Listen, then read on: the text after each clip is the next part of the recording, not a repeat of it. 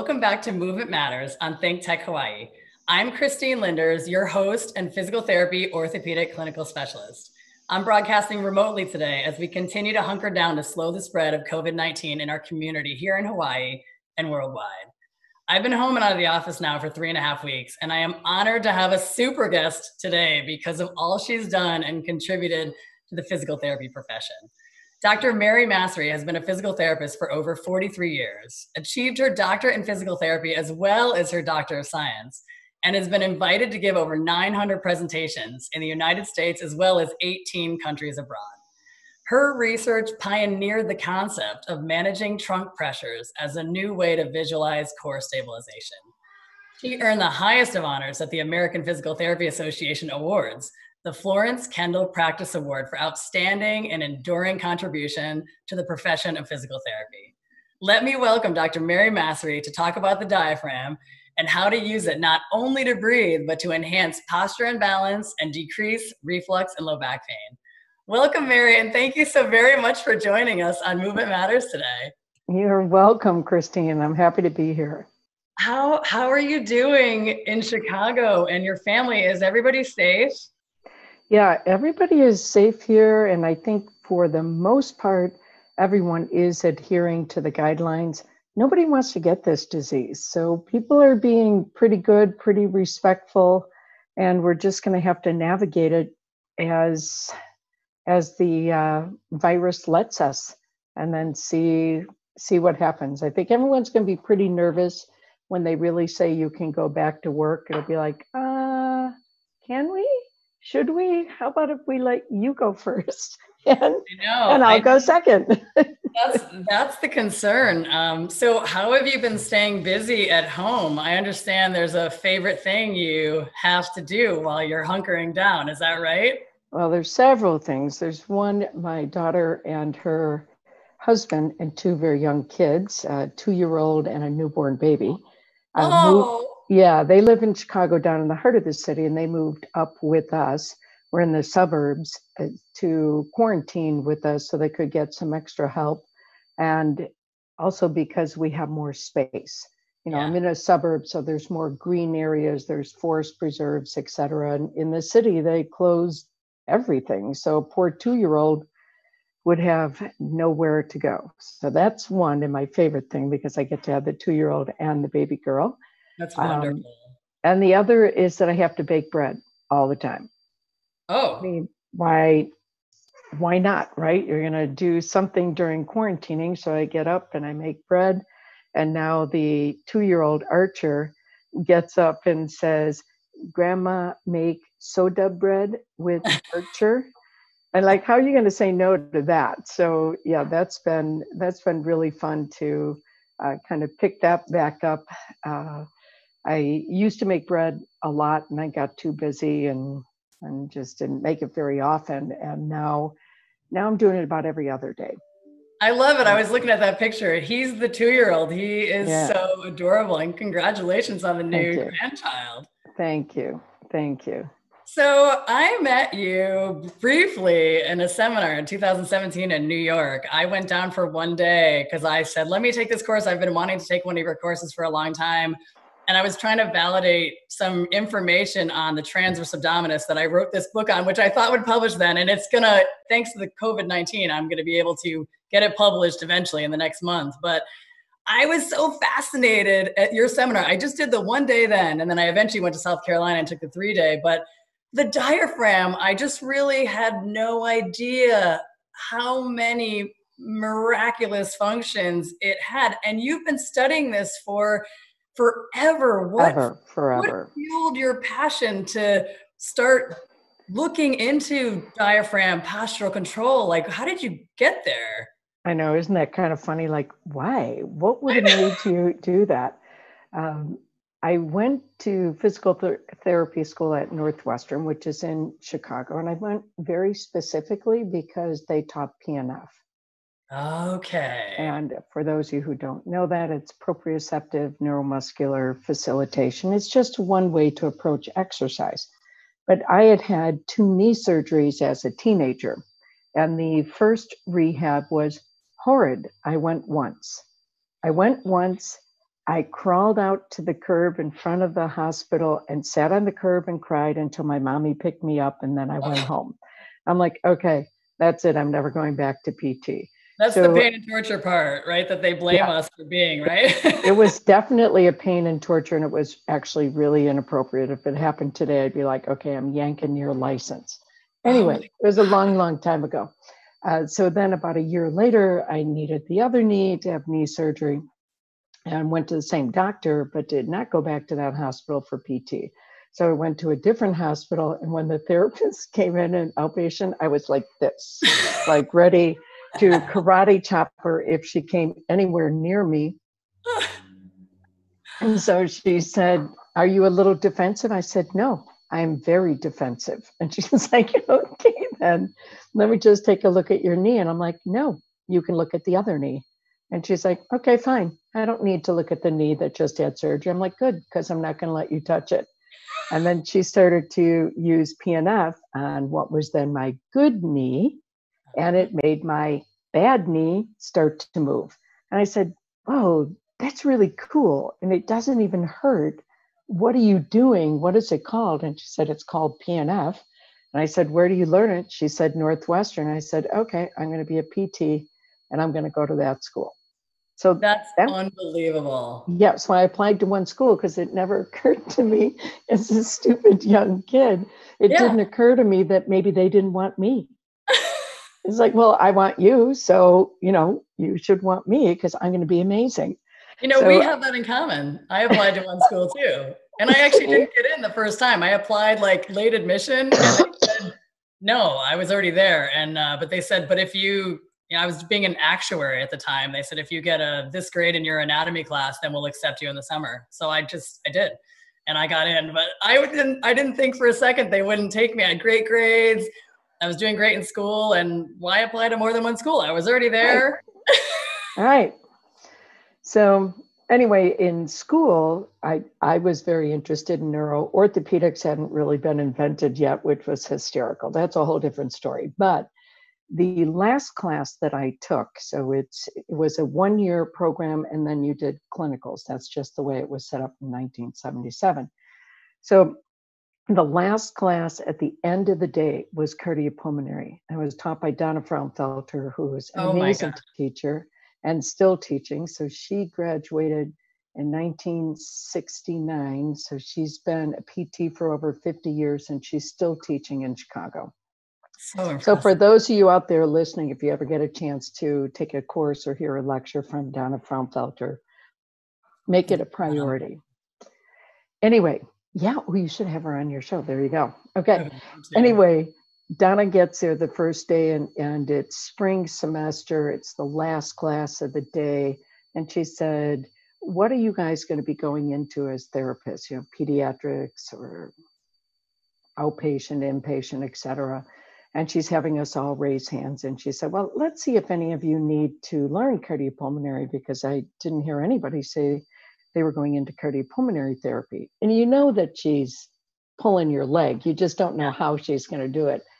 And so we're all looking around like, yeah, that's right. We've never even heard of cardiopulmonary. She said, well, of the patients you're going to see in pediatrics and outpatients and all the rest, how many of them have hearts and lungs?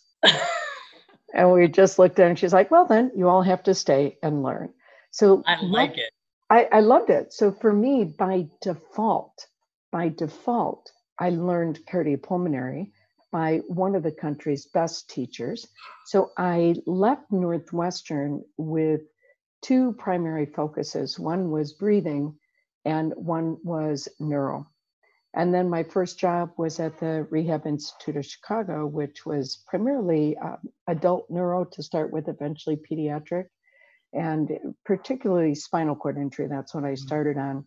And I just looked at every one of them when I came in. I'm like, okay, I don't know anything because I'm a new grad, but what I can see is none of them are breathing efficiently. What can we ah. do about it? And and the thinking at that time was more along the lines of they're going to wind up with pneumonia, but it's okay. They go back to the acute care hospital. They work on airway clearance. They, you know, make them better and send them back. And I just looked and I said, okay, again, I don't know anything. Yeah but wouldn't it make more sense to try mm-hmm. not to have them get sick? And they said, okay, kid, your job. You want it? I was like, oh my God, you guys are being so nice. I love it. I didn't realize they weren't being nice. They were dumping all the patients on me. And I'm thinking they are just so kind to really be concerned about my career development.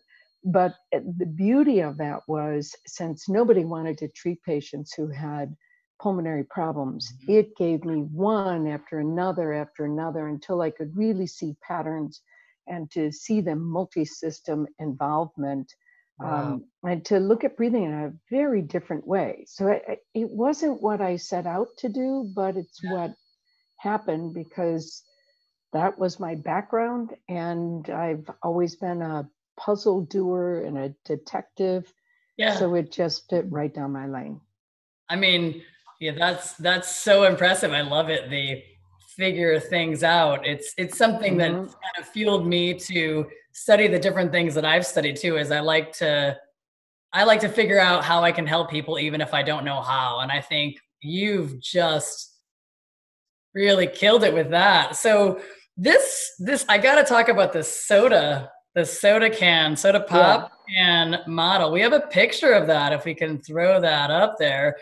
This uh, was a great explanation of how the trunk pressures work. And I think from my experience, I don't know that I ever really thought about vocal folds. My I, I did the same thing. I was into rehab. My first job for the first four and a half years was acute rehab. I worked with strokes and spinal cord injuries and vent wean programs and burns and things like that. But mm-hmm.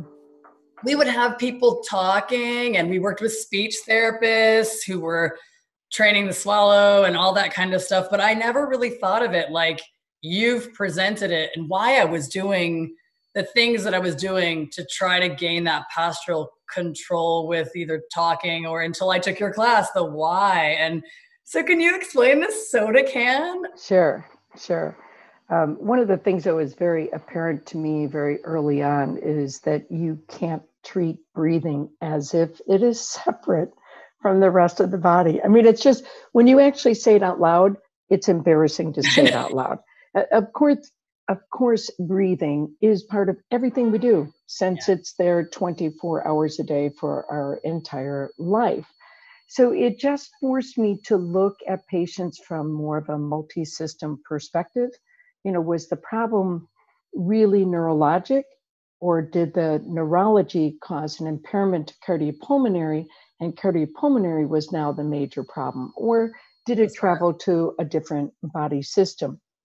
So eventually, uh, when I went to graduate school, I was trying to really help people understand this more in terms of how to put it into a whole perspective.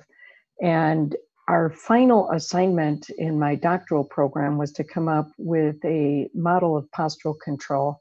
And you had to present it to your classmates and to some esteemed colleagues and it was it was a big deal. And my my team my classmates made me go last because they said you're entertaining. I'm like okay that's not fair. And they were like well but you are entertaining so we're making you go last because we're I don't all stressed out. I know. I said, I really think that's fair because that means I have to go last. They're like, oh well, so what? So I went last and I, I used a, a, model that I was trying to be very doctoral in it. Mm. Uh, so there were lines and graphs and arrows and everything else.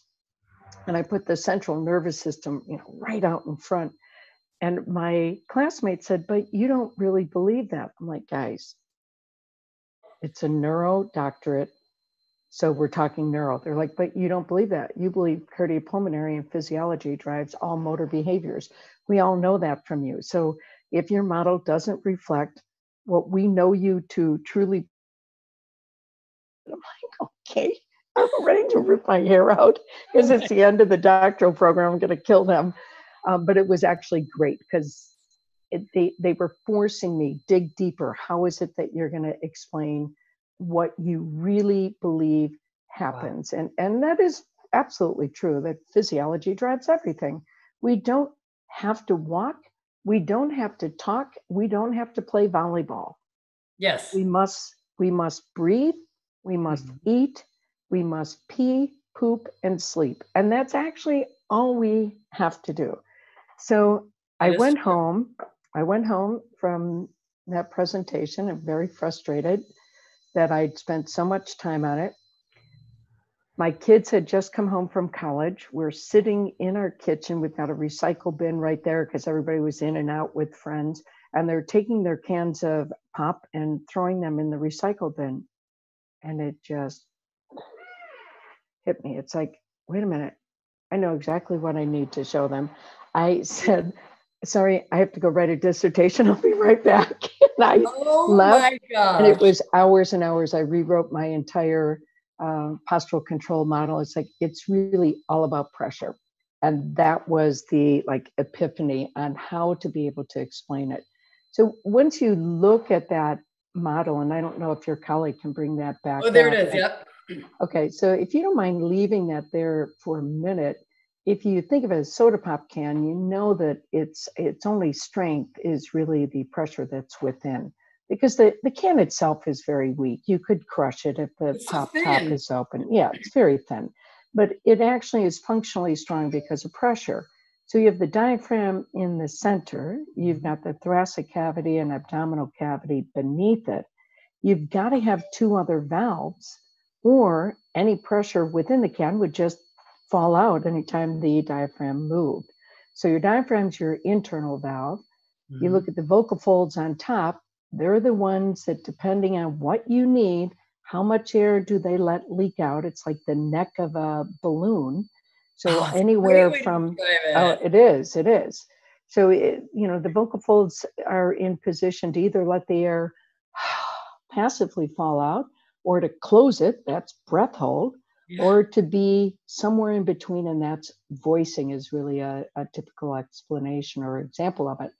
Um, then you come all the way down to the pelvic floor. If i don't have a valve on bottom anytime i cough sneeze yell push i'm going to lose pressure through mm-hmm. the pelvic floor or anywhere else where i have a breach and pressure. That was an absolute epiphany and it really allowed me to show people that core activation is way, way, way beyond the stomach muscles. That's what everybody thinks of. I got to get my core activated. That means doing a plank. It's like, does not. Maybe what you need is pelvic floor or vocal folds or intercostals or diaphragm, or maybe you need the stomach muscles or back muscles, or maybe you need to learn how to control all of them together so that your pressure is modulated the way that you needed to perform that task to support your physiology as well as your motor skill from being a top level athlete to maybe the old person just trying to go from sit to stand. That is so brilliantly put from such a super guest.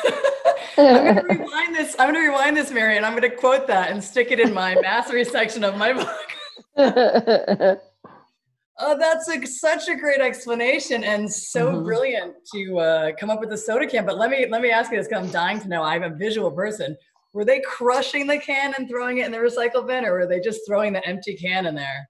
No, they were crushing it. They were crushing it, and uh, they were stomping on it. They were doing stupid college things, which is to hit it against your I don't know what you're talking frontal about. lobe. And I'm looking at them going, do you really want to decrease executive function? I don't think that's a good idea. You should not be smashing it against your cranium. I mean, that's that's a scary thought. I've never done that, but also, you know, I'm not a macho guy, right? And I'm impressing people. so I just looked at him and I said, Yeah, well, you guys might think you're strong, but your mom is so strong that she can crush metal in her bare hands. And then that was the epiphany. It's like, right, but I can only do that and there's no pressure from within. So if we're not looking as, as PTs, when we look at core stabilization and we think stomach muscles, stomach muscles, we're doing an incredible disservice to our patients. And a, a great example of that would be my patients with cystic fibrosis. They clearly have lung disease. So I'm going to be doing true cardiopulmonary, or if you would think of classic uh, cardiopulmonary work with them. But they're also going to be very likely to wind up with stress incontinence mm. unless you prevent it. They have abs of steel because they cough 50, 100, 200 times a day. So cough, cough, cough, cough, cough. They've got really strong abs. That's not the problem. The problem is you're squeezing the cylinder in the middle, but you didn't roll up the bottom of that can. So thinking of it like a uh, tube of toothpaste, yep. if you squeeze it in the middle, the pressure is going to go down and the pressure is going to go up. So until recently, which would have been maybe the last 10 to 20 years, which is pretty recent for cystic fibrosis, yeah. it was about two thirds of women would have stress incontinence by the time they were in their later teens. Of course, they didn't talk to their doctors about it because teenage girls. Yeah. So who wanted to talk about it? Uh, but when they did finally start talking about it, they thought it was something completely separate from their CF. It's like, no, you're coughing. So think of it in terms of multi-system. It's you had a lung disease, which caused a neuromotor plan of I need to cough and I need to cough aggressively to keep my lungs clear, which caused a musculoskeletal deficit of inadequate strength and support for the pelvic floor, which caused an internal organ problem of inability to hold your urine. So they're far more likely to get a urinary tract infection as well. So if I'm the doctor, I could treat the urinary tract infection, or I could say, huh, I wonder why they get the urinary tract infection. It could have a million other things as the root cause, but one of the things that the doctor, as well as the therapist, should be looking at is being that reverse detective. I have a urinary tract infection. I'm going to ask some more questions. Oh, yeah, it does turn out they have stress incontinence but I know they have cystic fibrosis. I know that's aggressive coughing and, and excessively high intra-abdominal pressures rather than too low, and be able to back that up to say there might be a physiologic reason for the UTI, but there is definitely a physical contribution to that UTI as well. It, it changes your entire practice because it forces you to find the real problem. Mm-hmm. Instead of saying, I'm going to treat a shoulder problem because they came in complaining of shoulder pain or back pain or ankle pain, it makes you look and say, but is that the root? Is that the real problem? I love it. I love it. I like what you said about the reverse detective thing. I mm-hmm. think it's so important to find the root cause. And I, I, mean, absolutely. Now, and people are always asking me, well, why are you working on this? That's not where it hurts. And I have to tell them, but you know, what we found is that this part stiff, this is not moving, this is not strong, which is making this more vulnerable or not able to move. And so we need to fix this so that doesn't have to cry out in pain. And in this reverse detective that you're talking about, I think is is genius. It's something that I always inspire other therapists and friends and students to to think about it with their you know if they're new and they're doing a new eval mm-hmm. and i tell them tell their patient this is a team and we're going to figure out why you're having this pain and so i think it's this this or this but you need to keep we need to have this conversation so that you don't want to bark up the wrong tree when you're new you can't just find out the root right. and reverse detective it right away. It takes experience and time, and I know that, and you know that. Yeah. yeah. But I try to tell them that, like, just you talk to your patient about we're going to figure out the root cause of why you're having that pain. It might not be where the pain is, right, or where the problem is. My colleague Nakama Kerman, who is a one of my yeah, she's one of my. Oh, yeah, you would have met her as your teacher for the full I, course. South Carolina, yes. Yes, so she's from New York, and uh, she is one of my faculty members. And she just has a great saying that she heard from someone else, and that is, "Where it hurts, it works." So they yes. come in complaining of shoulder, neck, back, foot, knee, hip pain, uh, but that is very likely where it works where is it dysfunctional that is causing another place in your body to have to pick up the slack and do more work? So it's just, it's a great saying. But just thinking along along those lines, I, I just submitted a, a presentation for the APTA on COVID. So we're doing something called the PACER project, which okay. is. I wanted is, to ask about that.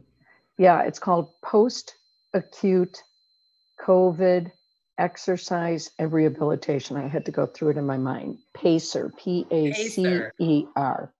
Right. So everyone's calling the APTA and calling cardiopulmonary specialists and saying, if I get a patient who is a survivor of moderate to severe COVID, because you're not going to get someone who was mild because they barely even noticed they had it, but somebody who had a more serious case, what are going to be the issues that I uh, would have to think about?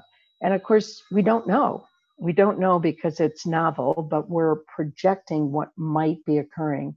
And so, in that video, which will be posted later today on the um, cardiopulmonary and vascular sections uh, YouTube page and oh, Facebook oh, and all those other mediums that I don't even know about. Um, but anyway, the whole point from my perspective is that it's going to be multi system. And they're going to come in with something like low back pain. And I'm going to say, well, is their diaphragm working? It was paralyzed when they were at their sickest point you're going to have to strengthen their diaphragm as part of your low back pain program. So it's being able to look multi-system, how cardiopulmonary affects musculoskeletal and how musculoskeletal affects cardiopulmonary and all the other systems uh, together. But it, it makes it very exciting, very exciting to be a PT. I still love my profession and I'm never going to retire and you're so good at so you're so good at that so mary we we're out of time and i uh-huh. love uh, i have to have you on again to so we can continue this conversation I, I love what you just said about the breathing and the back pain and i hope that the viewers today heard that message so i want to thank you so much for coming on i really hope i can convince you to come on maybe in two weeks when i'm on again sure and Thank you. Thank you. Think Tech Hawaii and our sponsors and donors for allowing us to be here today. And during this difficult time, everybody, please be safe. Do some breathing. Think about your diaphragm now. And maybe, maybe in a couple weeks, or if I can convince Mary to come back on, we'll give you some uh, lovely, inspiring breathing exercises to do. Aloha, everyone. Thank you so much, Mary. Thank you. You're welcome. Bye bye.